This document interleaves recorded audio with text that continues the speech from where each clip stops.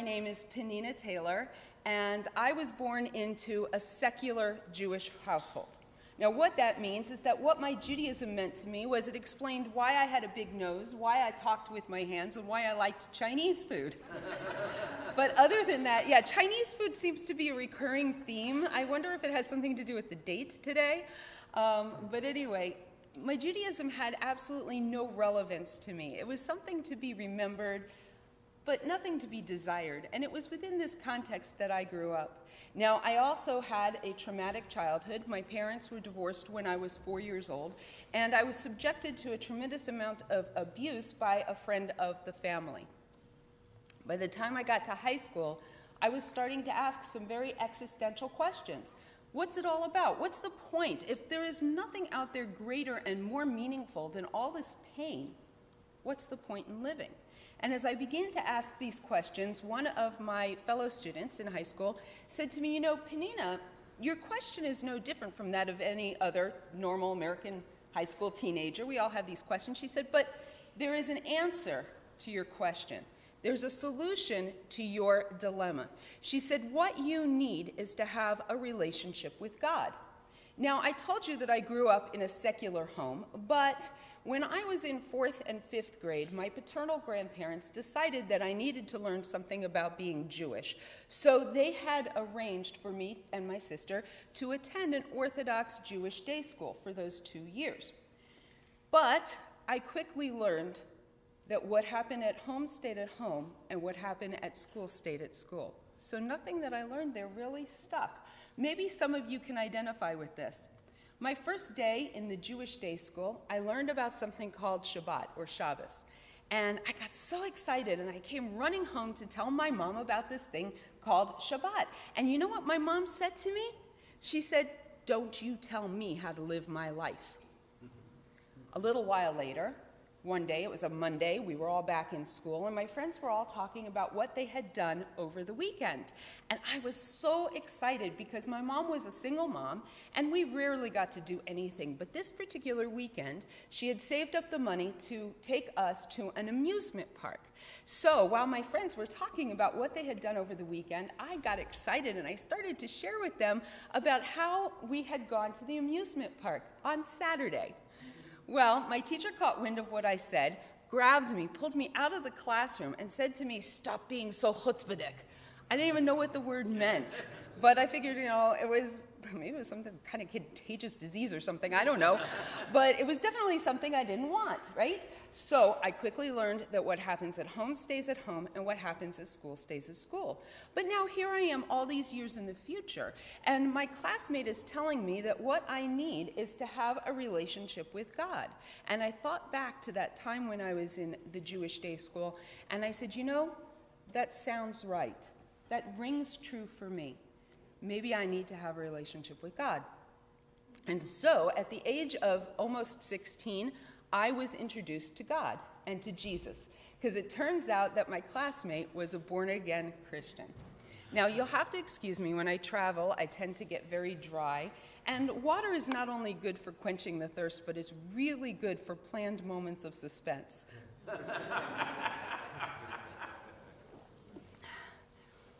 so, I was introduced to God and to Jesus, right? Well, this newfound faith of mine gave me the power to make all sorts of changes in my life. Until this point, I was doing drugs, I was smoking, I was drinking, I was skipping school. I had a really bad crowd of friends at school, and my mom was watching as I was slowly slipping away. So now I became a born again Christian, and I had made all these changes in my life. I stopped drinking, I stopped smoking, I stopped doing drugs. I started actually attending classes in school. And when I went to share my newfound faith with my mom, as all good born again Christians will do, she thought to herself if something could have such a profound effect on my daughter's life, it must be the truth, right? And so, my mom and my sister, I brought my mom and my sister to Christianity as well. Well, I started, I had a best friend, and I went off to college, Uh, I went to a Bible college. It's uh, Miami Christian College, now it's called Trinity University. Uh, while I was there, I got certified in something called Evangelism Explosion. Maybe some of you have heard of it.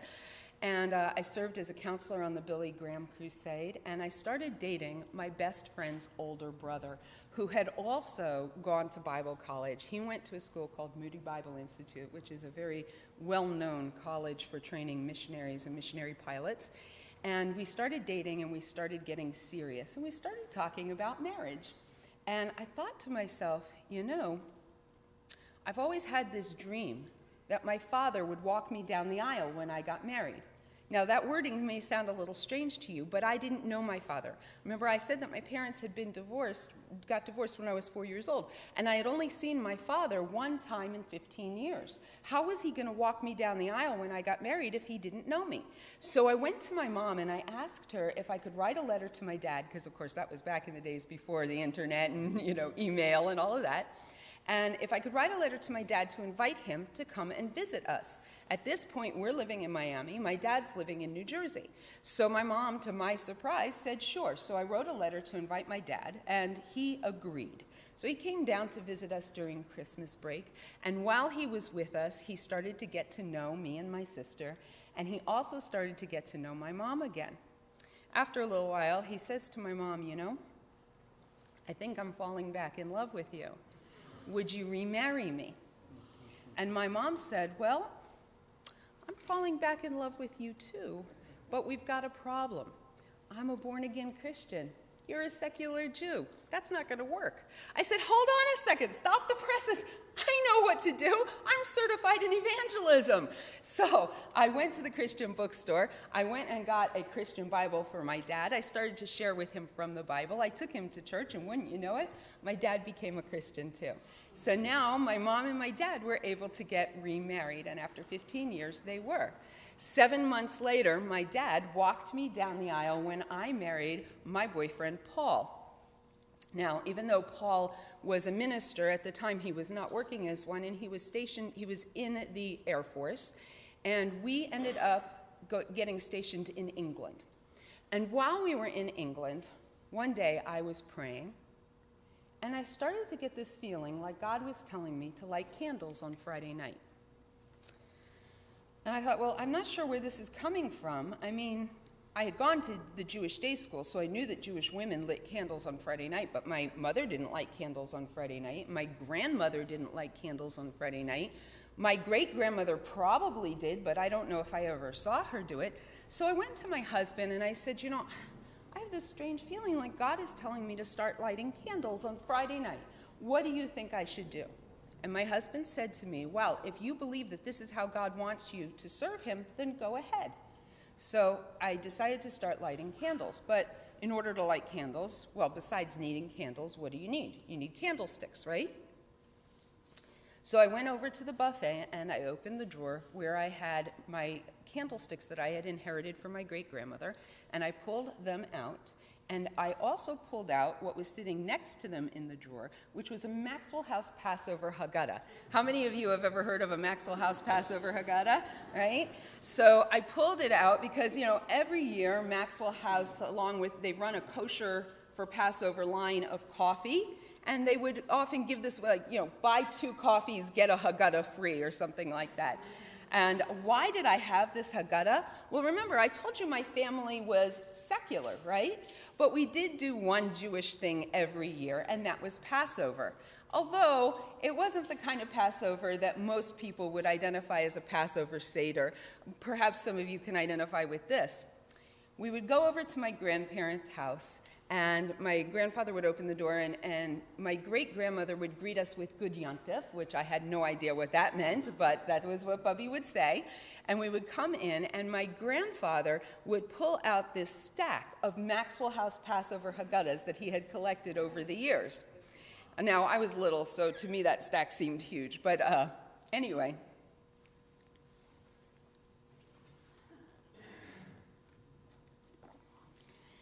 So he'd pull out this stack of Maxwell House Passover Haggadahs, and he would hand them out to everybody, and we would all sit down at the table. And then he'd say something like, okay, everybody open to page 30. So we'd all open to page 30. He'd read a paragraph from the Haggadah. We would sing the chorus to Dayenu, and then we would eat. Now, we did have a piece of matzah because it was Passover after all, but we also ate a lot of other foods you might not consider kosher for Passover. But this was our family's observation of Passover, and I had a very fond family memory of this. So when I got married, I asked my grandmother if it would be okay for me to take one of these Haggadahs, which of course she said yes. Now, what does this have to do with lighting candles? Well, I remembered that inside the front cover of the Passover Haggadah was the blessing for lighting candles because Jewish women light candles at the beginning of every Jewish holiday, right? And at the bottom was the line for lighting the candle on Friday night because sometimes Passover begins on Friday night, right? And so, with the help of the Maxwell House Passover Haggadah, and thank God for Maxwell House, because not only was it in Hebrew and in English, but it was also in translated Hebrew, so I could read it in the English letters, I began to light the candles on Friday night. Meanwhile, I'm going to church on Sunday. A little while later, one day, my husband comes running down the stairs, all excited, and he says, Penina, Penina. Of course, that's not what he called me then, but he says, Penina. He says, I was reading in the Old Testament. Now, for those of you who may not know, the Old Testament is what non Jews call our Tanakh, the Jewish Bible. They've taken it, they've rearranged the order, they've retranslated certain verses, but in general, it's our Tanakh. And he says, I was reading in the Old Testament and I came across a passage that says that there are certain things that God told the Jewish people they are supposed to do forever. He says, and if forever really means forever, then my Jewish wife and my Jewish children should be doing these things. Some people are absolutely amazed at how aware of my Jewishness my husband was more so even than me. I mean, not that I didn't know I was Jewish, but there's a difference between knowing something and being aware of it, right? And so, being somebody who was searching for truth, and this is something I need to, to make sure you understand. There's no way in 45 minutes or an hour I can tell you the entire process of what we were going through in a way that reflects the amount of time that it took. And people have sometimes said to me, you know, Penina, you were all over the map religiously. Well, the truth is, is that we weren't. If you step back and you look at the overarching picture, what you see is a couple who were searching for truth. That's something that my husband and I were about from the very first day that we got married, even before we got married. We wanted to serve God in truth. So now, here, my husband is telling me that there's something that God wants the Jewish people to do forever. So I said, okay, go ahead, shoot. He said, well, it says in the Old Testament that Jewish people aren't supposed to eat pork or shellfish. And I said, wait, no ham and cheese sandwiches? And he said, no. I was like, okay, I need to think about that one for a minute. Uh, but if that's what God wants me to do, then that's what I'm going to do. And so I agreed. And so I stopped eating pork or shellfish. So now here I am. I'm lighting candles on Friday night. I'm not eating pork or shellfish. I'm going to church on Sunday. Well, a little while later, I'm reading in the New Testament, which is the Christian part of the Christian Bible, and I came across a passage that talked about head coverings. And I was very curious because in the English it was not so clear. Is it saying that men have to cover their head and women don't, or women have to cover their head and men don't? And so we called the pastor of our church at that time, which was not my husband, to come explain the passage to us because he was a Greek scholar and Greek is the language that the New Testament was written in. So he comes in and he sits down and he says, Well, you know, it's a very complicated passage. And I was like, Yeah, I know. That's why we invited you here. he said, No, really. He said, Even in the Greek, it's very complicated. It's hard to tell which word is modifying which word. I said, Okay, Pastor, what do you think this passage means? He said, Well, what I think it means is that married women should cover their head when they pray. But I can't teach that because women nowadays don't want to hear it. Now, regardless of whether or not you agree with that statement, if you are somebody who is seeking truth, is the excuse that people nowadays don't want to hear it enough to stop you from doing what you believe to be right? Of course not. And so I decided to start covering my head. Now, I had no example But uh, so I took a hat, and when I wanted to talk to God, because that's what prayer is, right? Prayer is talking to God, I would put the hat on my head, and then when I was done, I would take it off. The problem is, is I'm really ADD, if you couldn't tell by the way I tell my story. And, um, and so when I was done talking to God, and I, next time I wanted to talk to God, I had to first go find the hat, right? So I was like, hang on a second there, big guy and I would go and try to find the hat. But by the time I found the hat, I had forgotten what it was I was going to say to God. So I decided there had to be a better solution, and I decided to buy a scarf. I figured a scarf I could wear around my neck, and when I wanted to pray, I would put the scarf on my head, and when I didn't want to pray, I would take it off, right? But I discovered something interesting. I discovered that I pray throughout the course of the day. Hopefully, you all do as well. And so, on went the scarf and off went the scarf and on went the scarf and off went the scarf. And finally, I just said, forget it. And I decided to cover my head all the time. So now here I am. I'm lighting candles on Friday night. I'm not eating pork or shellfish. I'm covering my head all the time. And that's right. Come on, wake up, guys. It's not that warm in here. Going to church on Sunday. Well, something began to happen inside of me um, at the time, I didn't know what it was. Now, looking back, I call it my spiritual identity crisis. I believe that my Jewish neshama, my Jewish soul, was having this battle with my Christian beliefs. All I knew, though, was that I had this restlessness going on inside of me, and I didn't know what to do about it. So, a little while later, I was about to have my second child. We were still in England, and my parents decided to come visit us. Mm-hmm. Have to time this just right, right? My parents decided to come visit us in England. Now, last I had left my parents, they were attending a nice little Assembly of God church in Pittsburgh, Pennsylvania. And I'm helping my mom unpack her suitcases. And one of the suitcases is full of Judaica items yarmulkes, tzitzit, shofars, siddurs, you name it. And I looked at my mom and I said, Mom, what's with the Jewish stuff? And she said, Well, while we were in Pittsburgh, we discovered a group of people who were born Jewish, who believe in Jesus, and have figured out a way to synthesize their Jewish heritage with their Christian beliefs, and they call themselves Messianic Jews. Now, I don't know how many of you have ever heard of Messianic Jews. I actually hadn't.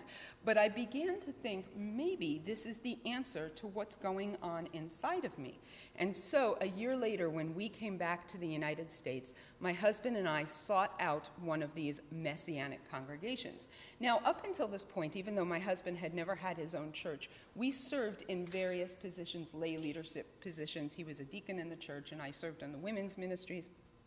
And so, we got involved in this Messianic congregation and began to be involved in the leadership of the Messianic congregation.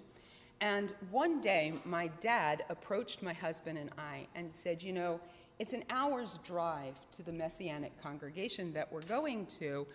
Why don't we start our own Messianic congregation here where we live? After all, Paul is an ordained pastor, and Penina, I sing, used to sing and play the guitar and lead worship and women's ministries. And he said, and Mom and I are very administrative, so we'd make a great team. So my husband and I decided to pray about it and decided that it was God's will that we start this messianic congregation. But I began to think, I do that a lot, and it usually gets me in trouble. I began to think, you know, if we're going to do something Jewish, right, because it's Messianic Judaism, maybe we should know a little something about Judaism, don't you think? And so I decided to go to the Jewish bookstore to find a book on Judaism. Well, it turns out that the Jewish bookstore had lots of books on Judaism, but I found one that had a title that intrigued me, and it was called How to Run a Traditional Jewish Household. It was written by a woman named Blu Greenberg, who's a very modern Orthodox woman. And instead of using the word Orthodox throughout the book, she used the term Torah observant. And I thought, you know, I like the sound of that. Maybe that's what we should be. Maybe we should be Torah observant Messianic Jews.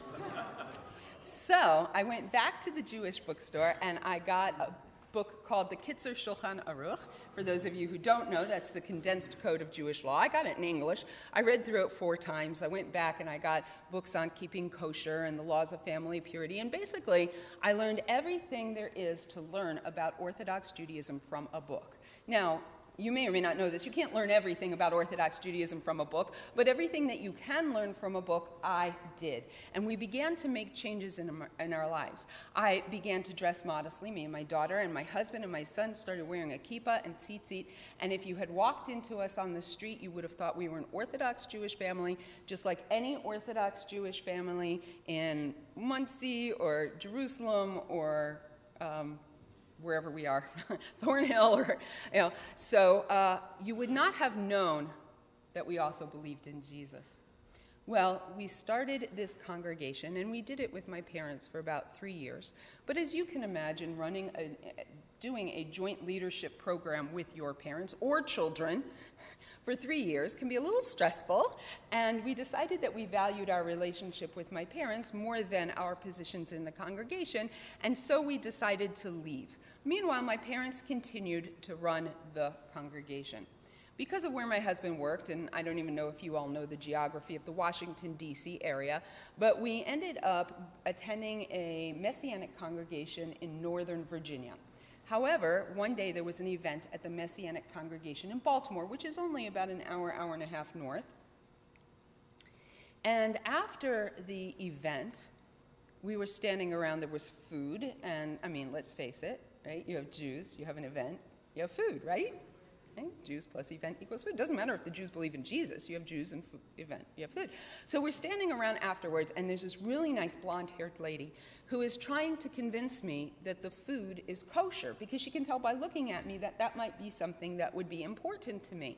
And she stops mid-sentence and she says to me, "How would you like to buy a nice big five-bedroom house in Upper Park Heights, Baltimore?" Now, I don't know if you're familiar with Upper Park Heights in Baltimore, but that is the heart of the Orthodox Jewish community in Baltimore. And she says, in fact, I know that God wants you to buy this house. Now, I was used to Christians speaking this way, but I did think that the woman was a few french fries short of a happy meal. And not being one to engage in confrontation, I figured, okay, how am I going to get out of this conversation? And I knew what I needed to do was tell her I had to talk to my husband, right? Marriage 101, you got to get out of a sticky situation, you blame it on your husband, right? So I went over to my husband. Now I knew my husband was going to say, Are you crazy? I work in Northern Virginia. We worship in Northern Virginia. Eventually, we're going to move to Northern Virginia. Baltimore is not on the map. And then I would go back to the woman and say, My husband says no, and that would be the end of the conversation. Well, that was what was written in the script.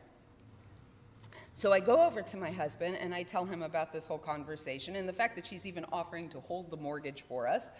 And instead of telling me I'm crazy, which is what was written in the script, he says to me, Well, we could take a look at it. Now, I have it on good authority that that was the first and last time I was ever speechless. But after picking myself up from shock, I went over to the woman and I said that, you know, we could take a look at it. And so we made an appointment and we went to the house. Now, when we arrived in the house, I started to get this funny feeling, very much like the feeling when I felt that God was telling me to light candles on Friday night. This time it said, You're home. Now, I promise you, I'm not schizophrenic, but I started to have this feeling that I was home. And I don't know why. I don't, to this day, I don't know if it was the proximity of all the other Jewish souls or, or what it was. But we went inside and we looked at the house and we fell in love with the house. It had a lot of character. It was really big because at that time I was in a very tiny house, uh, about a third the size of this house, homeschooling my four children, and the walls were beginning to close in on me. So we fell in love with the house, and then we did what any good Christian or Messianic couple in our situation would do. We went back to our congregation and we asked them to pray concerning whether or not it was God's will that we buy this house. In fact, they held a special prayer meeting for that purpose. And wouldn't you know it, all 250 members of the congregation unanimously agreed. Of course, I could stop there and that would be miraculous in and of itself, right? They unanimously agreed that it was God's will that we buy this house. Why? Because who better to convert Orthodox Jews to Messianic Judaism than Messianic Jews who look and act like Orthodox Jews, right? And so we made arrangements to buy the house and we moved in.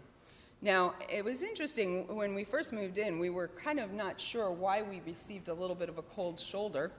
Uh, we didn't find out until many years later that the woman who had sold us the house, who wasn't Jewish, and that we knew, uh, when she had bought the house three years before, she had taken it upon herself to go knocking door to door to all of her Jewish neighbors to inform them that they were hopelessly lost and going to burn in hell because they didn't believe in Jesus. Just in case they didn't know. So you can imagine how they felt about this woman, right? And you can imagine how ecstatic they were when she said that she had sold the house, until she told them that she had sold it to a nice messianic family, at which point they didn't know what to do. Now, living in the Western world, Jewish people are familiar with living with non Jewish neighbors. That's not a big deal.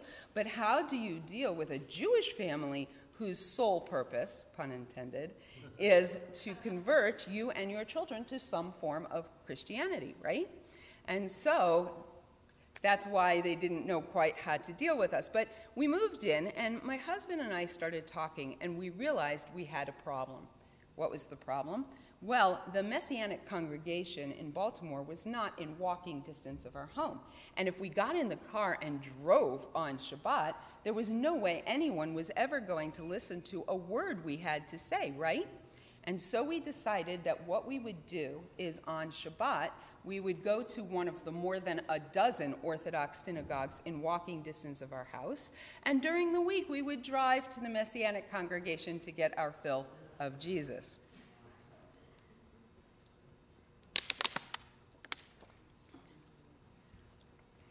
So, the first Shabbat after we had made that decision, uh, actually, it was the first Shabbat we were in Baltimore, we went to one of the congregation, one of the um, synagogues in our neighborhood. Now, how do we decide which one to go to? Well, it turns out that the rabbi who owned the bookstore that we had visited all these times also happened to run a happened to be the rabbi of a shul in the neighborhood.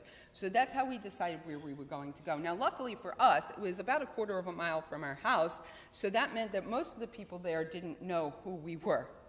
Well, we went to the synagogue on Shabbat morning, and we had the most amazing experience. Everybody there was warm and welcoming. They showed me where we were in the Torah reading. They helped me follow along in the in the prayer service, in the davening.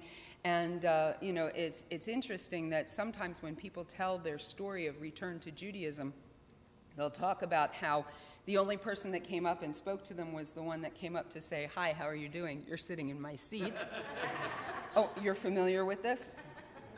But it wasn't like that at all. It wasn't like that at all. They were all very warm and welcoming. And uh, what happens on the other side of the mechitza? You know, the mechitza is the divider between the men's section and the women's section, right? What happens on the other side of the mechitza when there's a new guy in town? Anybody? That's right. He gets called to the Torah. He gets an aliyah to the Torah. So there's my husband wearing a kippah and tzitzit and a talit, and he has a siddur in his hands, and he looks like he's praying. And he's got these three little boys with him, all with their kippahs and tzitzit. And so he gets an aliyah to the Torah. And when the Gabbai gives him this offer of an aliyah, he says to him, I'm not Jewish. Now, this is a very important point to my talk because you may or may not be aware, although since you've heard of Jews for Judaism, hopefully you are aware, that in Messianic congregations all over the world, there are non Jews, and that's fine, they can go wherever they want, but there are non Jews who go to these Messianic congregations and they learn not only how to look and act like Orthodox Jews, how to make the blessings for being called up to the Torah, but they also learn how to read from the Torah and they make up fake Hebrew names. And then they go and they visit places like Orthodox synagogues or the Kotel in Jerusalem or whatever, and they're counted in a minyan. And when they're given an aliyah, instead of being honest, they give these fake Hebrew names and they're. Uh, committing a crime against the Jewish people. Now, some people say, wow, Penina, that's kind of harsh. Well, at the very least, it's not right because they're not being honest. But my husband is a man of tremendous integrity, so he said, I'm not Jewish. Now, a little while later, my husband, the man of tremendous integrity, says to me, You know, Penina, we need to tell the rabbi what we believe because it's going to come out at some point, and we certainly don't want him to feel that we've been lying to him or we have betrayed him. And I said to my husband, You know, I don't think that's a very good idea. I don't see that ending well. But he insisted, and so I relented, and we called the rabbi and invited him to come over to talk. Now, knowing that my husband wasn't Jewish and I was, what do you think the rabbi thought we were going to talk to him about? Conversion, right? Makes sense. So the rabbi comes in the door, and my husband starts telling him what we believe. And after a minute or two, the rabbi stops him and he says, Wait, wait, you don't believe that anymore, do you? To which my husband says, Yeah. Well, in the moment it took for absolute shock to register on the rabbi's face, I started to see my world implode. I mean, we had just bought this big, expensive house that we couldn't turn around and sell, and I was homeschooling my children. And if the rabbi kicked us out of the synagogue, who were my kids going to play with? Maybe they were going to get beaten up. Maybe they were going to take pictures of our family and put them on posters on the lamp post down the street saying, Warning, missionaries. And so I began to cry. Well, the rabbi turned to me and he says to me, Well, what do you believe? Now, I'm here to tell you that at this point in my story, I had been a Christian in one form or another for 17 years. I had been responsible for bringing hundreds, if not thousands, of people to Christianity. It's not like I didn't know what I believed. But in that moment of emotionality, when the rabbi turned to me and asked me what I believe, I just responded, Rabbi, I don't know what I believe. And I begged him, please, please don't kick us out of the synagogue. Is everybody awake? Yes. Good, okay. I begged him, please don't kick us out of the synagogue. And he sat there for the longest time, saying absolutely nothing to me. I, didn't, I wasn't sure if he was ever going to speak to us again. But when he did speak, he said the most important words that anyone has ever said on my Jewish journey. He said to me, You are a Jew no matter what you believe. He said, Now, let me be clear.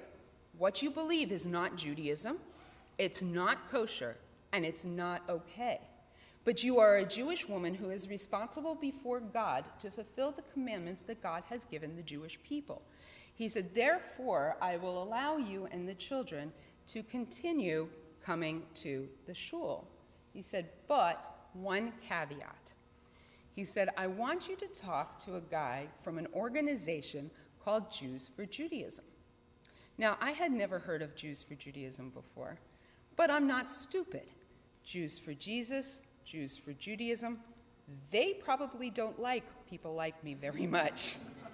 But I knew I had no choice if I wanted to keep coming to the shul. So I agreed. But I agreed kind of like the way that you agree when you're downloading software to your computer. Anybody familiar with this, right? You download a piece of software and up comes this box that says terms of agreement. It's got all these words in it. And then it has a box underneath that says, I agree to the terms of agreement. You're supposed to check the box if you want to continue downloading the software, right? And most of us don't bother reading the words in the box. We just check the box and we move on because otherwise we couldn't download the software. And so I thought to myself, well, I'll agree to talk to this guy from Jews for Judaism. But in my head, I thought, you know, the rabbi, he'll forget about it. We'll just be able to keep going as things are. And so I just kind of ignored it. So a little while later, the rabbi calls me and he says, Have you talked to this guy from Jews for Judaism? And I was like, No, I haven't had time, whatever. This went on several times, and I'm hoping that the rabbi is going to forget. That's what was written in my script. However, the rabbi didn't read the script either. I don't know what it is with you guys and not reading scripts, but Anyway, so finally, the rabbi called me at one point, and he made it very clear that if I didn't call this guy from Jews for Judaism, that I was probably not going to be able to maintain my same status of going to the shul. So I picked up the phone, which is a very hard thing for me to do, and I called Jews for Judaism and made an appointment for this guy to come to my house.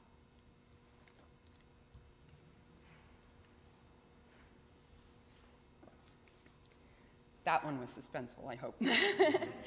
anyway, So this guy's name was Mark. At the time, he was the, um, the director of Jews for Judaism in Baltimore. And Mark comes over, and he comes inside, and he says, Okay, let's talk about why you think Jesus is the Jewish Messiah.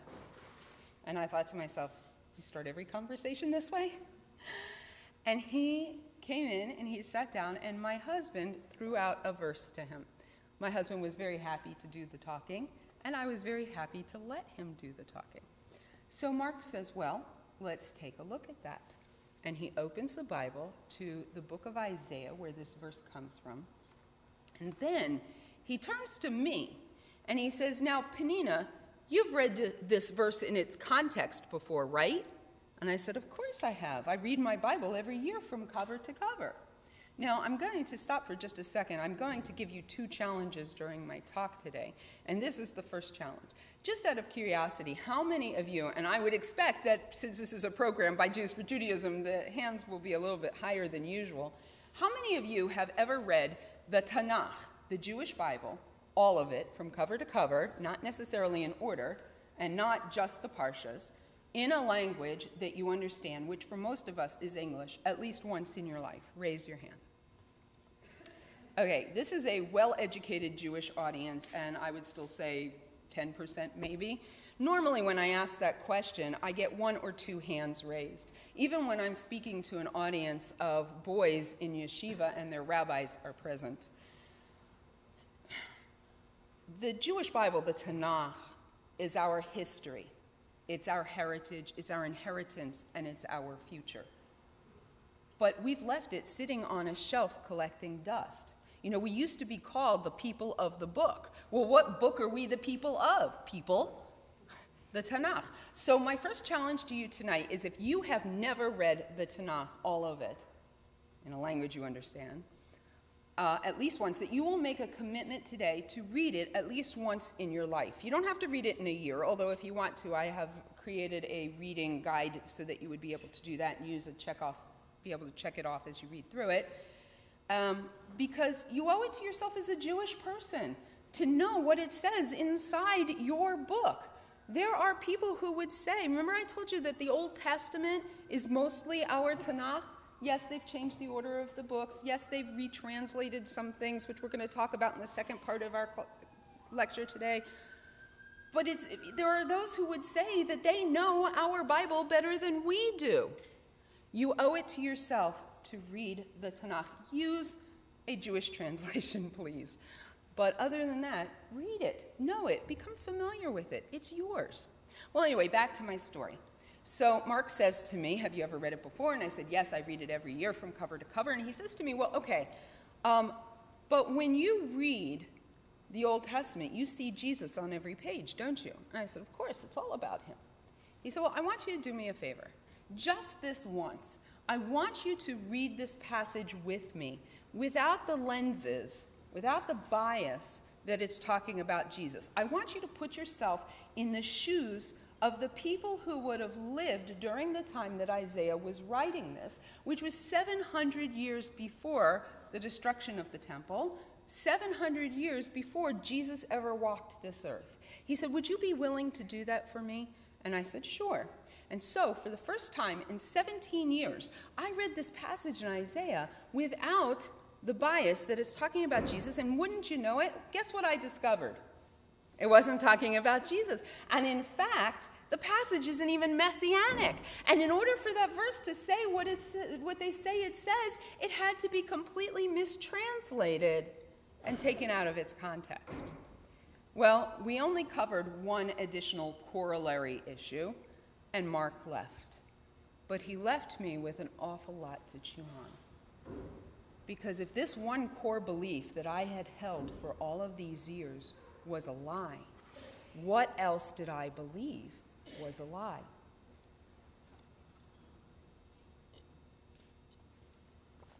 And so, over the course of the next few weeks, I kept coming back to Mark's office and I kept saying, okay, well, what about this verse? And, and what about this verse? And Mark would always say, okay, well, let's take a look at that.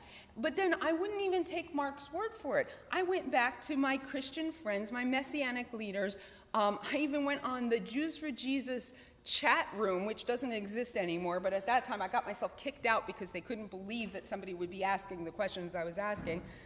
And um, one by one, the bricks of the foundation of my faith were being pulled out. Uh, eventually, the entire structure had to collapse.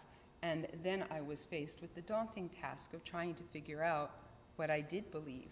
I mean, did I still believe in God? And if I did, what did that mean? Is the Bible, the Tanakh, God's word to the Jewish people or not? And, and if it is, what does that mean for me as a Jewish woman? Do I need to be Orthodox or can I be something else? Well, since I'm standing here talking to, to you today, you can probably guess what my conclusions were. I decided to convert to Buddhism. Just kidding. No. Uh, I embraced uh, Torah true Judaism. But at this point, I am married and I have four children who are six, eight, six, eight, 10, and 12 years old. Well, my 12 year old son He's only less than a year away from bar mitzvah, and I realized that there was no way that the rabbi was going to bar mitzvah my son if he still believed in Jesus. Now, fortunately for me, and unfortunately for him, I was his homeschooling teacher, so I was able to give him, I would say to him, um, this is what Christianity teaches about this verse, and this is what Judaism says. What do you think? And one by one, my son went through each of those passages, which is what eventually turned into my white book, which is called Scripture Twisting, which is out. Uh, there's one copy of it out there if anybody wants to buy it. Um, but he went through each of these verses and he decided that Judaism was the truth. And so a year later, he was bar mitzvahed. Now, leading up to that point, I was talking to my husband and my parents, and uh, with my father, as I would present something with him, he was bound and determined to prove that Judaism was wrong. So when I said, "Hey, Dad, have you the, taken a look at what the Jewish the Judaism says about the virgin birth?" and he would go back and he would try to hammer it out, and he was going to prove that Judaism was wrong and that Christianity was right, except he didn't. With each challenge that I gave him, he came back saying, "You know, I think you're right." And so his preaching in the congregation began to change, and one by one or two by two, the congregation started to drop off. And uh, meanwhile, though, I'm also talking to my husband about what I believe. And the, we used to have the most amazing marriage on earth. We never argued. Not that we didn't disagree, because that would be weird.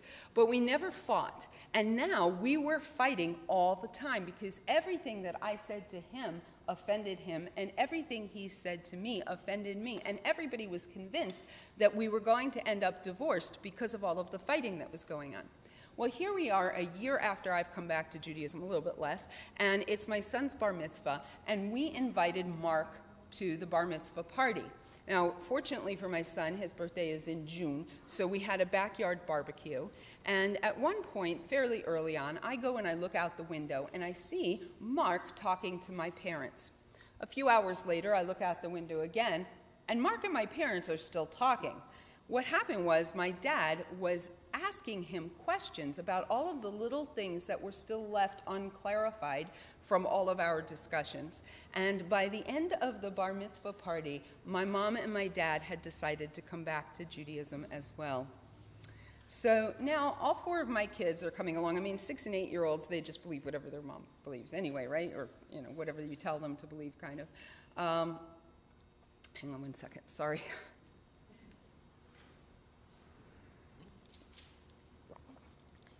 And another year goes by, and my husband and I are still fighting up a storm. And one day we had one of these fights that got me really ticked. And I said to him, You know, you just say that because you're a Christian. To which my husband says, Well, actually, no, I'm not. I said, What? He said, Well, over the past two years, you have given me enough evidence that the New Testament is not true. I don't believe in the New Testament, and so I cannot believe in Jesus anymore. He said, But I'm not about to convert to Judaism because I'm not convinced that Judaism is the truth with a capital T, and I don't want to trade one flawed religion for another. But at that point, our status in the community changed because now, no longer being a Christian, he was what we call a Noachite or a Ben Noach. And that is a non Jew who believes in the God of Israel and the validity of the Torah, uh, but doesn't necessarily feel called to convert to Judaism. But because of that change in our status, we started to be able to attend classes in the community. And to make a long story short, another two years later, so four years after I came back to Judaism, my husband decided that Judaism was the truth with a capital T, and he converted to Judaism. And Paul Michael Taylor became Pinchas Moshe, and we were married under the chuppah in Baltimore at the Etz Chaim Center with our children and our small uh, community of friends. So, thank you. Um, I'm actually going to end this part of my talk with a story, and then I'll be happy to take questions. So the story is told of a man who is walking along the beach and he discovers a cave. And inside the cave is a bag full of rocks. And he looks inside the bag and he takes out one of the rocks and he thinks, you know, they're not even interesting looking rocks.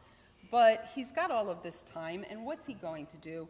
And well, the bag's a little heavy, but you know what? I'll just, it's sand. I'll just take it with me. And so he's dragging this bag of rocks, and he takes out a rock and he tosses it into the water. And he takes out another rock and he tosses it into the water. And he does this for a couple of hours. At one point, one of the rocks falls out of his hand, and it hits a rock in the ground, and it splits open. And he discovers that it actually wasn't a rock, but rather it was a ball of clay and inside this ball was a precious gemstone. So he takes out another one. He's, I wonder if there's more where this came from. And he breaks that on the rock and he opens it up, and there's another gemstone inside. And so he does that with the rest of the balls inside the bag.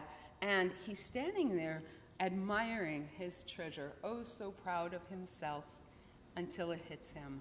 Oh my God, if I had known what was inside those rocks to begin with, I wouldn't have thrown them away, and I would now be a multimillionaire instead of having this small treasure that I have.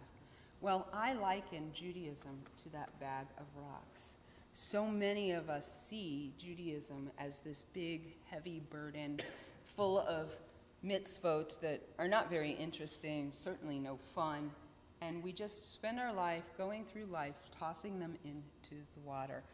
If you see your Judaism more like that bag of rocks than the treasure that you have been given as a Jewish person, my second challenge to you today is to find someone or someone's who will be that rock in the ground for you. You know them. They're people who are excited about being Jewish. Go to them and ask them hey, why are you so excited about Judaism? You know, I teach this, whether I'm teaching a spiritual talk or I'm talking to business owners, the principle that you need to surround yourself with people who have what you want and people who want what you have. You surround yourself with people who want what you have because it reminds you of the value of what you've got. But we need to surround ourselves with people who have what we want because we can learn so much from them. And enthusiasm really is contagious. So go to them and say, hey, you know, I'm just curious. Why, why do you love being Jewish so much? Or can I come and learn with you once a week or once a month? Can I come to your house for a Shabbat meal? Make it, take the opportunity to get to know and understand about the treasure that you have been given as a Jewish person. Thank you.